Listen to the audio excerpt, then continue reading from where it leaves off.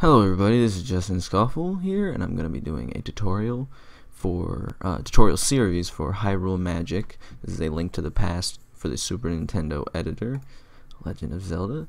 Um, I'll be providing links to everything I talk about here in the description, and I'll be doing this series in parts where I address different parts of the emulator so I can, you know, not overwhelm you with information. Um, the first thing I'll get off the bat is that Hyrule Magic is a difficult program to get used to, but a powerful one once you understand it. And what I mean by difficult is that um, this program was made a long time ago, and it, it has a lot of issues with it. It can cause a lot of bugs and corruption in your ROM if used incorrectly. And sometimes you could use it perfectly. You can make as many backups as you want, and you could still corrupt your ROM just because it was poorly programmed, and there are edits that would need to be fixed entirely with a you know hex or ASM, and some things that are just unfixable. Period. So, if you're not prepared to get down in the nitty gritty with Hyrule Magic, um, if you just like to wait for a later link to the past editor, which it's been practically two decades and we haven't seen a complete one yet. Um, complete complete new one. If you want to wait, go ahead. But for right now, this is what is what we use. This is what we gotta fuck with. Um, so first thing you'll notice is just that it's pretty basic. So you can open up, you can get your ROM. Um, you gotta figure out your own damn ROM, basically. And so I have just a normal link to the past American ROM. You can look at the information on it here. Um, see how much stuff you have left that you need to look at. Um, and then you can do things like clearing all the overworld items, sprites, blocks, torches, entrances, exits, bird locations. We'll get into all that. Um, it's recommended that if you're going to be doing a new hack, if you're not just going to be working on Link to the Past, um, it's recommended you clear all that out.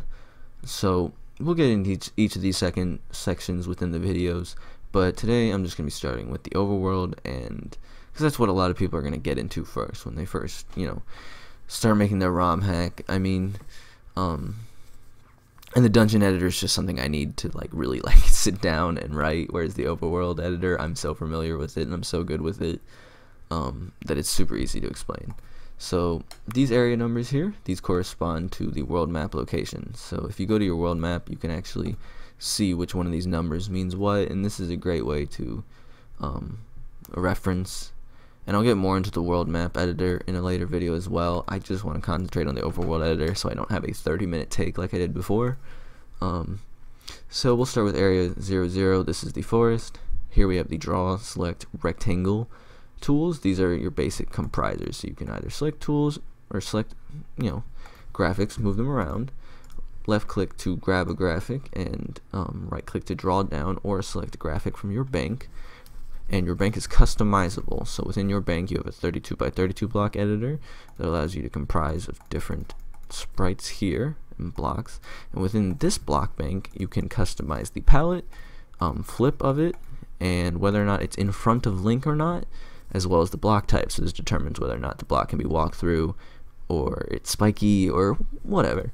And um, I'm going to be providing the link to a PDF written by Sephiroth, which helps explain a lot of in-depth and FAQ type things about the program that is supplementary to this tutorial, but not necessary because a lot of these things I kind of learned on my own, kind of where these blocks are and what they, you know, which palettes are what. Just by looking at it within the graphics editor, by double clicking these graphics, you can see your palette and you could even copy this, pull it out, and put it into Photoshop to edit it. I mean, now you would have to edit this in um, 16 bits so that you could reinsert it. So if I were to try to copy this and put it back in, it would not it would not fuck with me.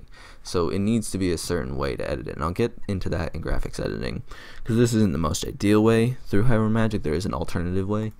Um, but for right now, let's just concentrate on this. So then we have the frame tool. The frame tool is super simple. It just shows us how the animations of our graphics will look. Say you in, implemented some new animations.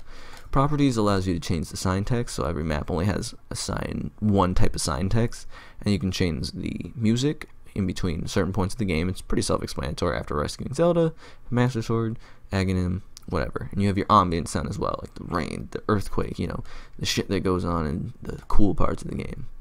And you have the warp switch.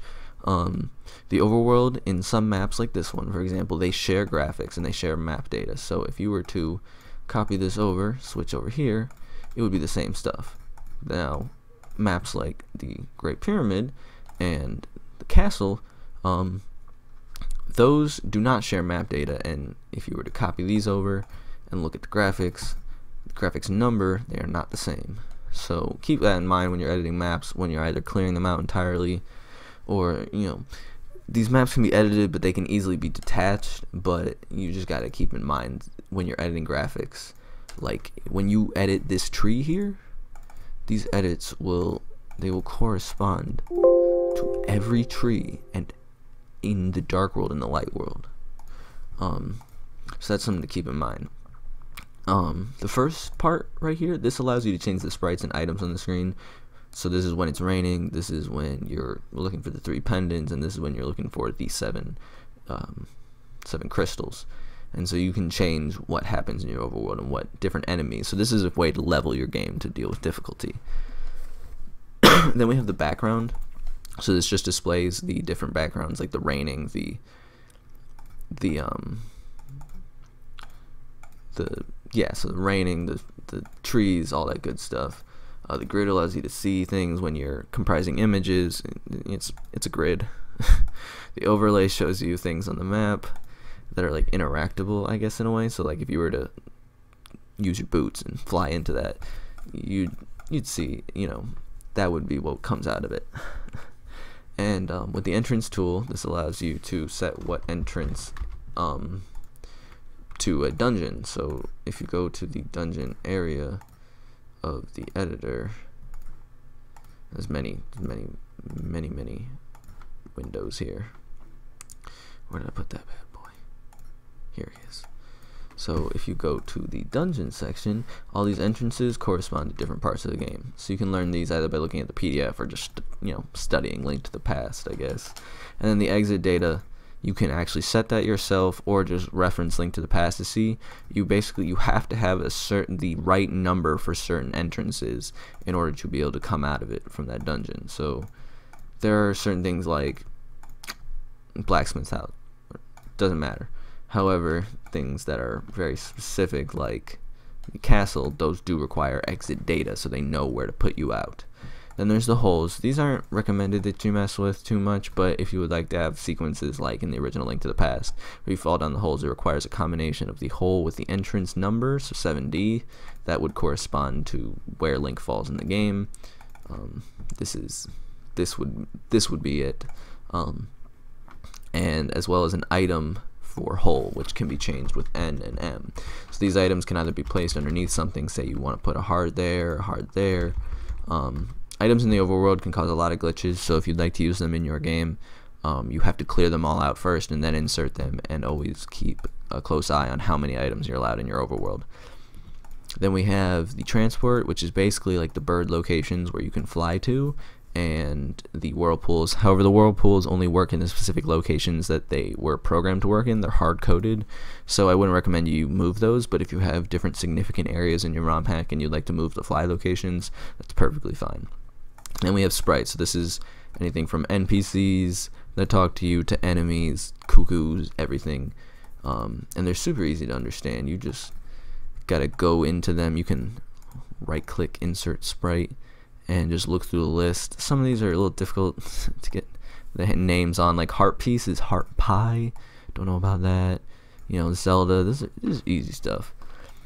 This is all learned through studying the game and kind of looking at it. I recommend before you start your own ROM hack that you look through the overworld editor and just kind of get used to the bad boy. So now I'll do some edits to the game and we'll, you know, we'll let that happen. Um, so we'll start somewhere simple like this. I'm going to turn the markers off so this allows you to see the map for what it is.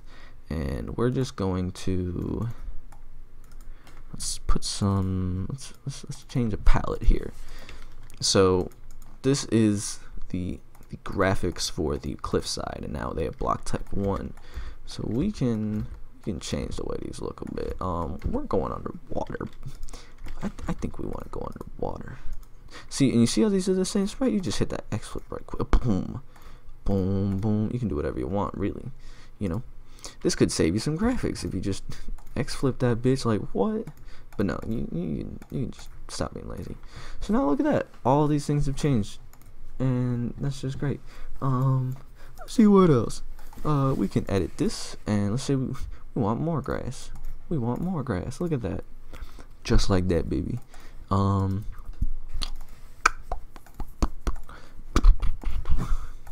let's let's let's do this like fucking 2006 style and just place what we think is cool where where where we want to place it. Do whatever the hell we want.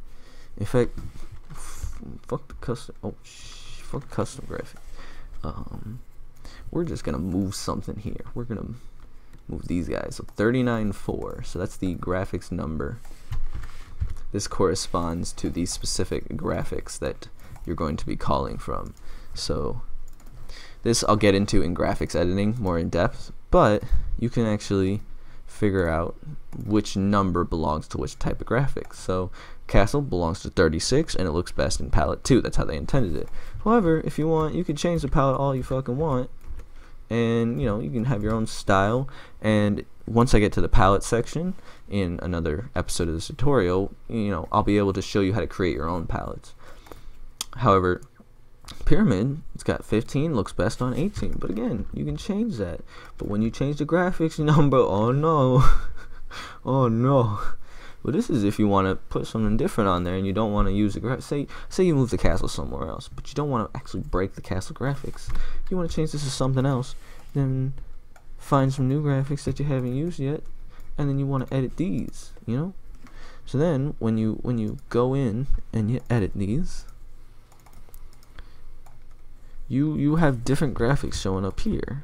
These are for the swamp, so now I can build my own swamp. Look at that. Here we go.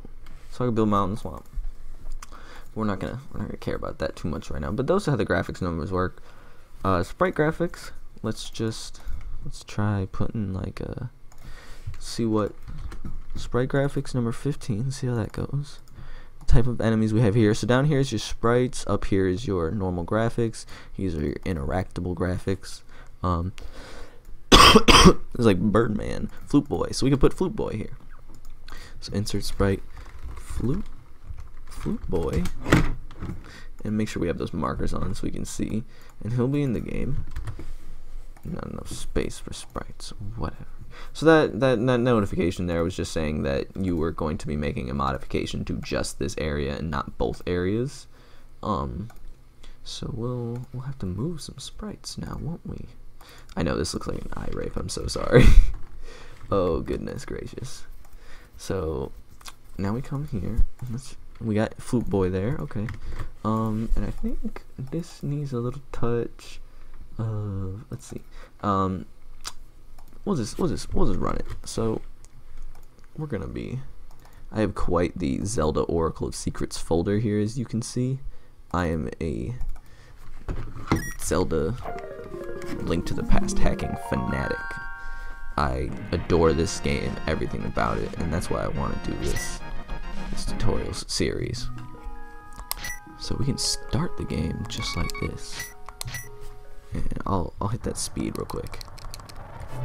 And we'll get to indoor editing real soon. But again, Dungeon Editor is just a fucking doozy. So now we can see our edits in real time. Now, look at that. Where's the flute boy?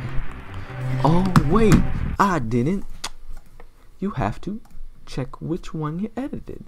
So the beginning, rain part. First part would be after we save Zelda. Flute Boy would be there. So I didn't do nothing wrong. I knew what I was doing. And look at these edits I made. They are they are here. And they're they're more ready than ever. So that's showing you that in real time you can edit your link to the past ROM and see what you've done. And you can play with it, you can try it out, you can test it, and I promise you if you really commit to a link to the past hack, you will get so fucking good at the game.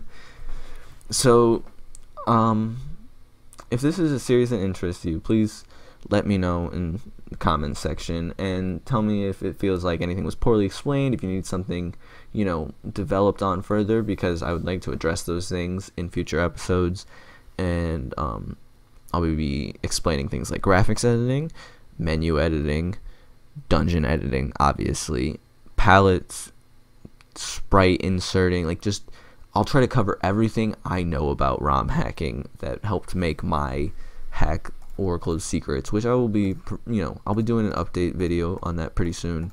I'm just, I'm getting in contact with people now. There was good reception from the, um, from the video I released. It did pretty well for, for my standards. So I'm excited to work with people for testing and helping out with the game so that we can have this released before 2018 is over. And I'm just telling you, I was able to make my whole ROM hack very. I like my ROM hack a lot, so I made it very well with Hyrule Magic, in my opinion. And I think as long as you commit to using the program, you're going to have, you know, a hack that can rival that of Parallel Worlds. I mean, Parallel Worlds was made years ago with Hyrule Magic and a lot of the resources that we have now and a lot of things we know now about Link to the Past as a game, we didn't know back then. So, you know, it saddens me when I don't see more Link to the Past hacks out there.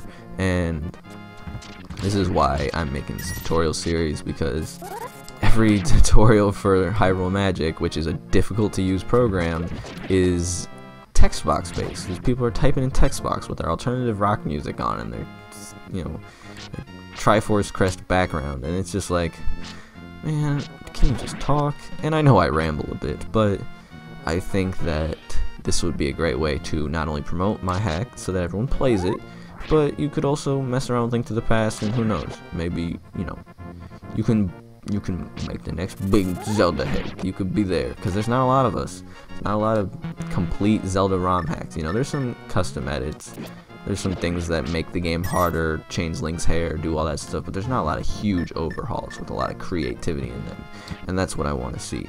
So, like I said, if this series interests you, let me know. Let me know if anything in this video could be more furtherly explained, and I'll do a follow-up before the dungeon editing episode. And with that, this video is a wrap. Thank you for watching.